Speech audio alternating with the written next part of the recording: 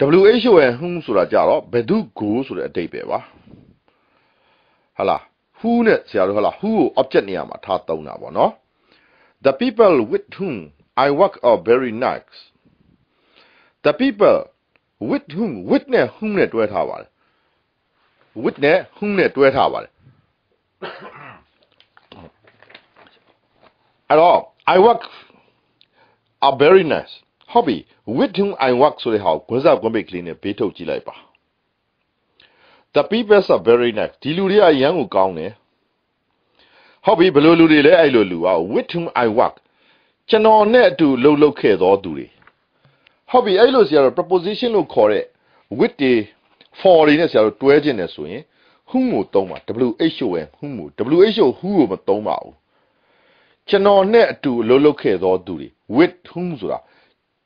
ငါနဲ့လှုပ်လှုပ်ခဲ့တဲ့သူတွေကတဲ့အယောင်ကောင်းတယ်ဟလာ with whom whom ဆိုတဲ့ဟာကိုထပ်ပြောပါမယ် whom ဆိုတဲ့အရာကို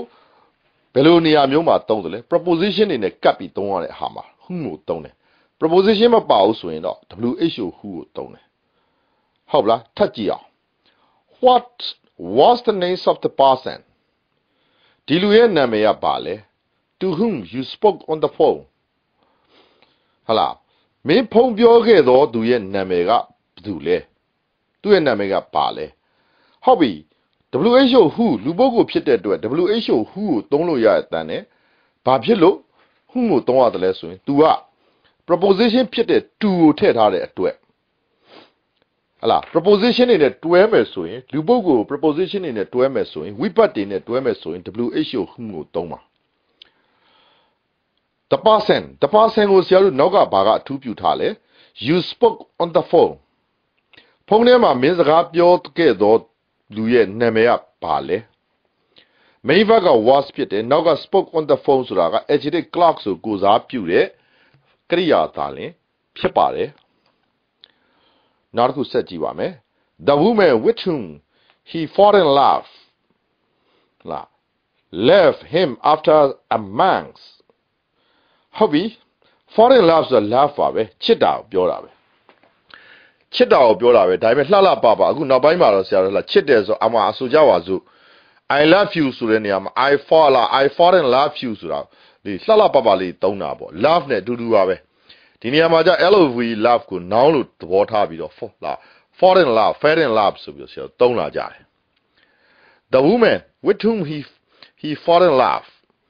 အဲ့စာကြောင်းလေးကိုဆရာတို့ဂွန်းစဂွန်းပိတ်ကလေးနဲ့ပိတ်ကြည့်အောင် with whom he fall in love ဟုတ်ပြီကြံတဲ့ဟာကိုဆရာတို့ဖတ်ကြည့်မယ် the woman left him after a month after a month ဆိုတာတလားလောက်ရှိတဲ့နောက်မှာသူ့ကိုမျိုးသမီးကသူ့ကိုတလားလောက်နေပြီးတော့သူ့ကိုထားပစ်ခဲ့တယ်ဒါမှမဟုတ်စွန့်ခွာသွားတယ်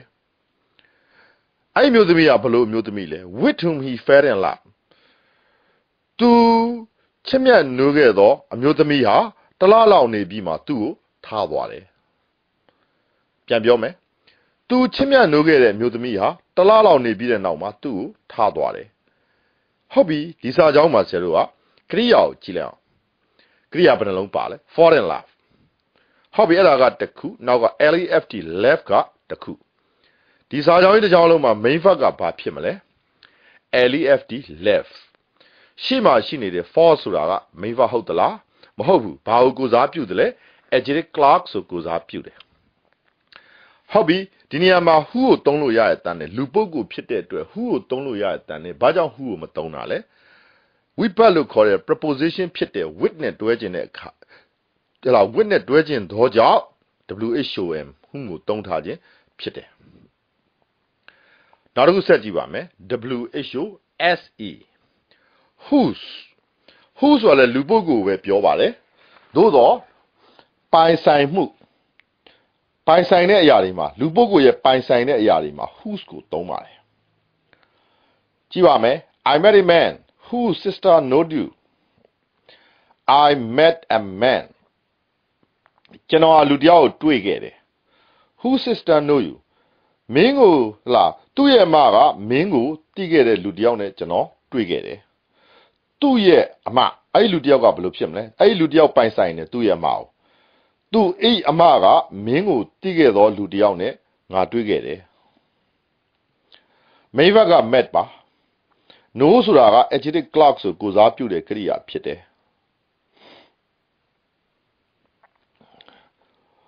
okay ဆက်ကြည့်ပါမယ် that ဖြစ်ရပါမယ်ဆရာတို့နော်ရှေ့ကတီတီလေးကြံခဲ့လို့ပါနော်တီလေးဖြစ်လိုက်ပါ that is the name of the man ဒါဒီလူရဲ့နာမည်ပဲ who call you borrow ဟလာ who call you borrow ဟလာမင်းသူ့ရဲ့ကားကိုမင်းငှားခဲ့တယ်ပေါ့သူ့ရဲ့ကားကိုမင်းမငှားခဲ့လူရဲ့နာမည်ပဲဖြစ်တယ်ဆိုတဲ့သဘောကတော့ဆရာတော်ဟလာဒီလူရဲ့နာမည်ကမင်းကားငှားခဲ့တဲ့လူပေါ့ဒီတီလေးရှိကြံသွားလို့เนาะဆရာတော်เนาะနည်းနည်းရိုက်ပြီးတဲ့လူကတီကြံသွားတာဒါလေးဖြည့်ပေးလိုက်ပါ အော် what what ဖြစ်မယ်ဆရာနည်းနည်းလေးပြောင်း WH ဒီ what sorry sorry နော် what what what's the name of the man ဒီလူရဲ့နာမည်ကဘယ်သူလဲတဲ့နော်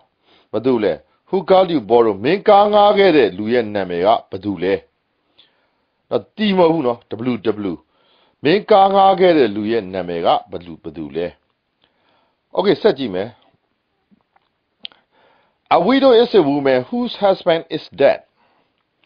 A widow is a woman whose husband is dead. widow ဆိုတာမဟုတ်ဆိုးမအောင်ပြောတာ window မဟုတ်ဘူးเนาะ widow widow မှားအောင်မယ်အဲ့ဒါလည်းเนาะ widow is a woman တဲ့မဟုတ်ဆိုးမဆိုတာအမျိုးသမီးတဲ့ရှင်းလိုက်တာเนาะဟောပြီအဲ့မျိုးသမီးကဘလို့မျိုးသမီးလဲ whose husband is dead သူ့ဤယောက်ျားတည်ဆုံးသွားခဲ့သောအမျိုးသမီးဆိုတာမဟုတ်ဆိုးမပဲဖြစ်တယ်တဲ့ဟုတ်ပြီအဲ့တော့ဆရာတော်အဲ့စာကြောင့်ကြည့်လိုက် is is ရှေ့မှာလဲ is နောက်မှာလဲ is husband is ရှေ့မှာ a widow is ဒီစာကြောင်းကိုကြည့်လိုက်တဲ့အခါမှာဘယ်ကရိယာ main verb ဖြစ်မလဲ a widow is အဲ့ဒီ is က main verb နောက်မှာ husband is ဆိုတာ main verb ဟုတ်သလားမဟုတ်ဘူးဘာကိုကိုစားပြုတယ်လဲ adjective clause ဆိုကိုစားပြုတဲ့ဟလားကရိယာဖြစ်တယ်နောက်တစ်ခုဆက်ကြည့်ပါမယ် when when ဆိုတာဟာအချိန်ကာလတွေအတွက်ဆက်ပါတယ် I will get tomorrow ငါမနေ့ပြန်လာမယ် when you will be in your home ဟုတ်ပြီမနေ့ပြန်မနေ့ပြန်ဆိုတာအချိန်ကာလဖြစ်တဲ့အတွက်မနေ့ပြန်ဆိုတာအချိန်ကာလဖြစ်တဲ့အတွက် when ကိုသုံးထားပါတယ်မနေ့ပြန်တော့မနေ့ပြန်ဘယ်လိုမနေ့ပြန်လဲကြည့်အောင် when you will be in your home ဟလာမင်းရဲ့အိမ်မှာမင်းရှိနေမဲ့မနေ့ပြန်ကိုငါလာခဲ့မယ် ဟုတ်ပြီကြားပြပြီတခုပြောပါမယ်ဆရာတို့ဒီ adjective class တွေကိုဆရာတို့အသုံးပြုတဲ့အခါမှာ where တွေ when တွေ who တွေ which တွေအဲ့ဒါတွေနဲ့ဆက်တဲ့အခါမှာအဲ့ဒါတွေကိုထည့်ပြီးဘာသာမပြန်ပါနဲ့နော်အဲ့ဒီဆရာတို့စာကြောင်းဆက်ကရိယာအဖြစ်ဆက်တဲ့အခါမှာအဲ့ဒါတွေကိုထည့်ဘာသာမပြန်နဲ့ तू ကတကြောင်းနဲ့တကြောင်းကိုဆက်ဆက်ပေးလိုက်တာပေါ့နော် I will get tomorrow when you will be in your home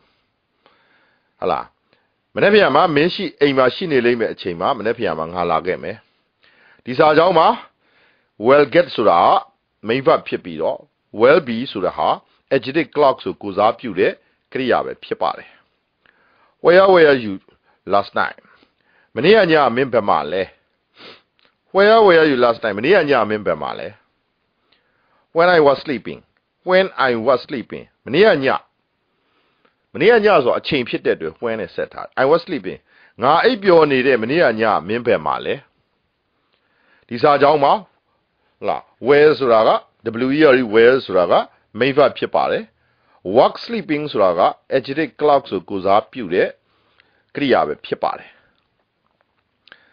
I cannot come at 7 am မနေ့9နာရီမှာငါလာငါမနေ့9နာရီကိုငါမလာနိုင်ဘူး when I never get up ငါဘယ်တော့မှအိယာမထားတယ်မနေ့9နာရီတော့ငါမလာနိုင်ဘူးဟုတ်ပြီနော် ငါဘယ်တော့မှအိယာမထားတယ်မနေ့9နာရီငါမလာနိုင်ဘူးဟုတ်ပြီဒီစာကြောင်းကိုကြည့်လိုက်ပါဒီစာကြောင်းမှာဆရာတို့က cannot come ဆိုတာက main verb ဖြစ်ပါတယ် never ဆရာတို့ get up ဆိုတဲ့ဟာ never get up ဆိုတဲ့ဟာ adjective clause ကိုကိုစားပြုတဲ့ adjective clause ကိုကိုစားပြုတဲ့ကရိယာပဲဖြစ်တယ်ခုနှစ်နာရီတော့ခုနှစ်နာရီဘယ်လိုခုနှစ်နာရီလဲငါဘယ်တော့မှအိယာမထတဲ့ခုနှစ်နာရီဘယ်တော့ဘယ်တော့အခါမှအိယာမထခဲ့တော့ခုနှစ်နာရီမှာငါမလာနိုင်ဘူး ရှင်းလားဆရာပြောတာနော်အဲ့တော့ adjective clause ဆိုတာကရှေ့မှာရှိနေတဲ့ noun ကိုနောက်မှာရှိနေတဲ့စာအစုကနေပြီးတော့ဘာလုပ်သလဲအထူးပြုလိုက်တာပဲဖြစ်တယ်စကလုံးလေးတွေကိုအထူးပြုတာမဟုတ်ဘဲနဲ့ဆရာအရှိပိုင်းမှာပြောခဲ့သလိုပဲ tall boy လို့ပြောတဲ့အခါမှာ tall က boy ကိုအထူးပြုတယ်ဒီ adjective class မှာကြတော့ boy ကိုစာစိုးကြီးရသွားပြီးအထူးပြုတယ်ဟုတ်ပြီအဲ့ဒါ adjective class ပဲဖြစ်ပါတယ်ဆရာတို့စာဖတ်တဲ့အခါမှာအဲ့ဒါတွေမသိရင်ဘယ်လို့မှစာဖတ်လို့မရပါဘူး ဟုတ်ပြီဆရာတို့ပြန်ပြီးတော့စဉ်းစားကြည့်မယ် adjective class တွေမှာလူပုဂ္ဂိုလ် who အရာဝတ္ထုတွေကို which တွေ that တွေအချိန်ကို when နေရာကို where လာ where စသဖြင့်ပေါ့နော် adjective class ကိုဆရာတို့ဆက်ပါတယ်အဲ့ဒီလိုဆက်တဲ့အခါမှာဆရာတို့လက်တွေ့နယ်ပယ်မှာတွေ့လာမှကြတော့တကယ်တမ်းတွေ့လာပြီဆိုရင်တော့အဲ့ဒီ who တွေ which တွေ that တွေကိုဆရာတို့ခြံထားပြခဲ့ပါတယ်များသောအားဖြင့်ပေါ့နော်ပါတဲ့အခါလဲပါမယ်မပါတဲ့အခါလဲမပါဘူး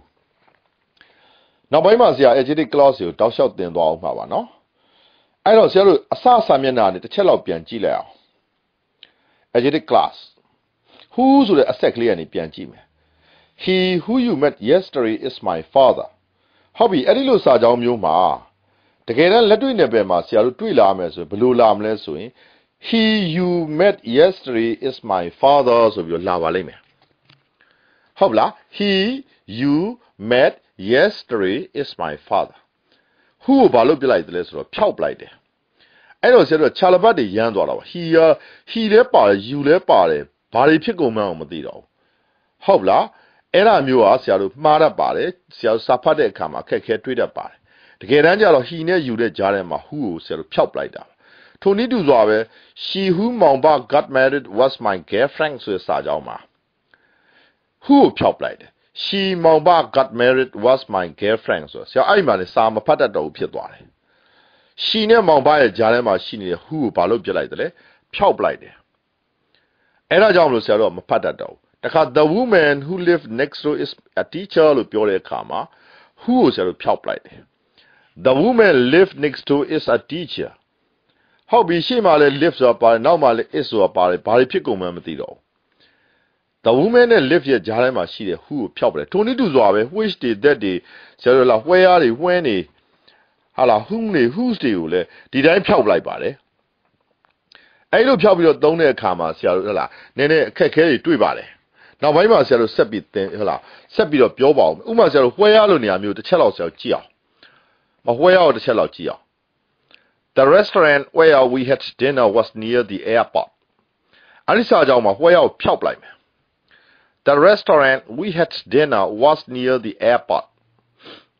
ဟုတ်ပြီအဲ့တော့ that's the the restaurant we had dinner. where ကိုဖျောက်လိုက်တယ်။နော်အဲ့လိုလေးဖျောက်လဲကြည့်ပါ။နောက်တစ်ခုက my home where was in Rangoon had been destroyed. ဟုတ်ပြီဒါမျိုးစာကြောင်းမှာကြတော့ where နဲ့မကတော့ where work ဆိုဖျောက်လိုက်တယ်ဘယ်လိုလာလဲဆိုတော့ကော်မာလေးနဲ့လာမယ် my home comma in rangu has been destroyed အဲ့တော့ကော်မာလေးနဲ့လာလိုက်တော့ဘာဖြစ်သွားမှန်းမသိတော့ဖြစ်သွားတယ်နော်အဲ့ဒါ adjective class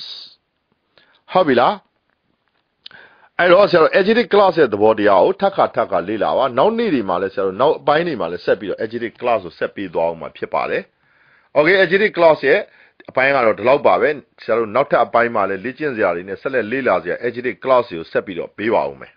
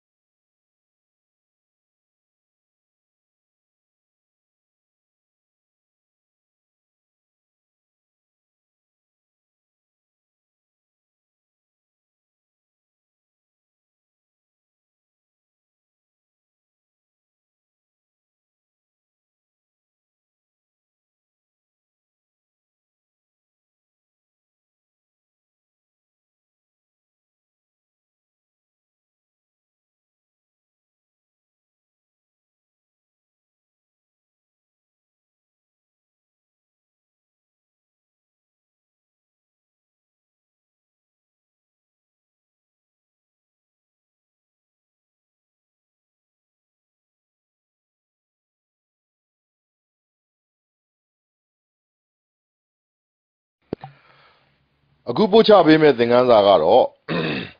ဆရာတို့ agitic class ကိုထပ်ပြီးတော့ဆရာတို့လေ့ကျင့်ကြည့်ကြရအောင်ပါ agitic class number 3ပေါ့နော်ထပ်ပြီးတော့ဆရာတို့ agitic class ကိုလေ့ကျင့်ကြည့်ကြမယ်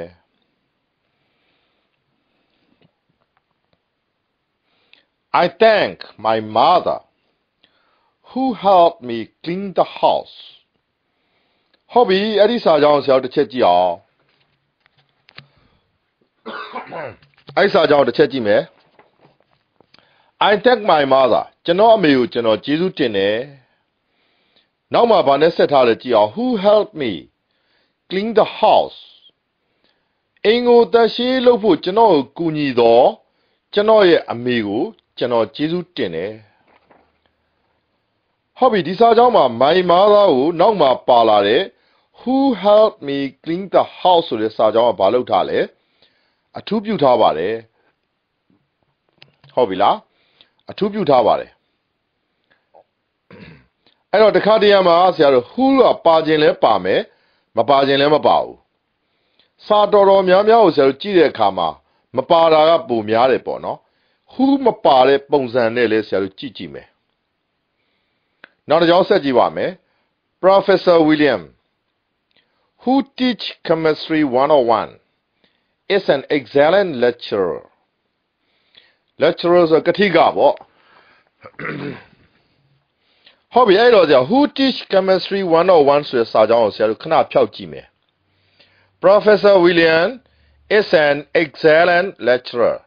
excellent ဆိုအလွန်ကောင်းတဲ့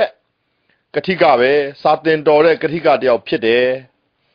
Professor William ဆိုတာစာသင်တော်တဲ့ ကတိကတယောက်ဖြစ်တယ်ဟုတ်ပြီအဲ့ဒီ Professor William Brook လားဘယ်လို Professor William လဲနောက်မှပါလာတဲ့ Who teach chemistry 101ဆိုတဲ့စာကြောင်းကဘာလုပ်ထားလဲအထူးပြုထားတယ်အဲ့ဒါကို နာမဝိသေသနာစာစုလို့ခေါ်တယ်ဓာတုဗေဒ101ကိုတင်ကြားခဲ့သော Professor William ဟာ စာသင်အလွန်ကောင်းတဲ့ကတိကတယောက်ဖြစ်တယ်နောက်တစ်ကြောင်းဆက်ကြည့်ပါမယ် The woman that clean my house is my aunt ဟုတ်ပြီ that clean my house ဆိုတော့ဆရာတို့ခဏဘေးဖက်ကြည့်မယ် The woman is my aunt ဒီမျိုးသမီးကကျွန်တော်ရဲ့ဒေါ်လေးဖြစ်တယ်ကျွန်တော်ရဲ့အတော်ဖြစ်တယ် The woman ဟာလာအဲ့ဒီ the woman ကိုနောက်မှပါလာတဲ့ that clean my house ကဘာလုပ်ထားလဲအထူးပြုထားတယ်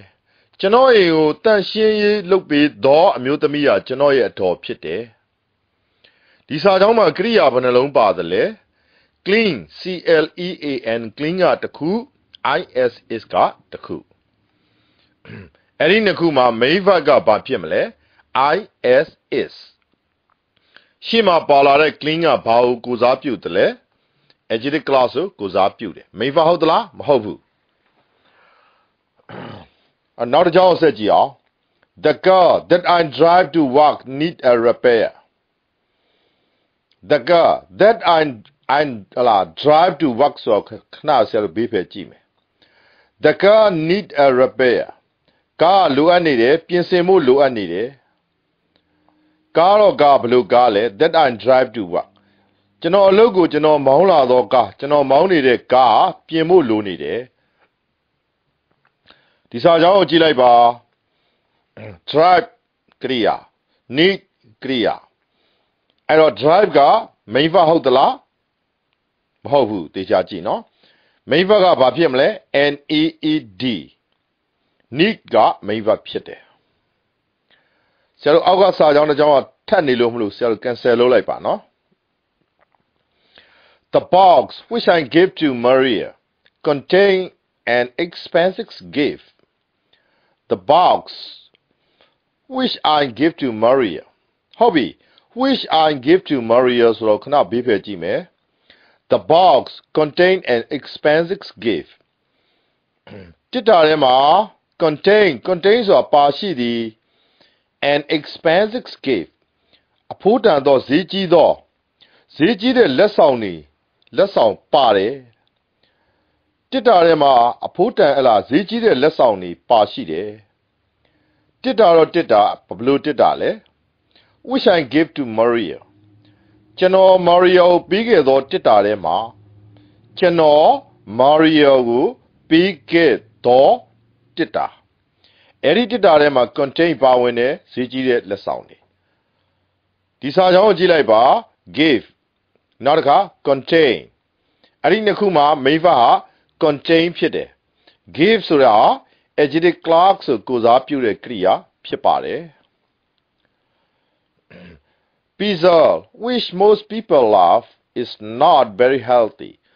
very healthy ဆိုတော့ကျန်းမာရေးရမကောင်းဘူးလို့ပြောလိုက်တာကျန်းမာရေးနဲ့မသင့်တော်ဘူးလို့ပြောလိုက်တာ pizza is not very healthy pizza ဆိုတာဆရာတို့ဟွာပါစားစရာမုံပေါ့နော် ဒီအမေရိကန်မှာတော့ခစ်စားပါတယ် pizza ဆိုတာနော် pizza is not very healthy pizza ဟာတဲ့ကျန်းမာရေးနဲ့မညီညွတ်ဘူးတဲ့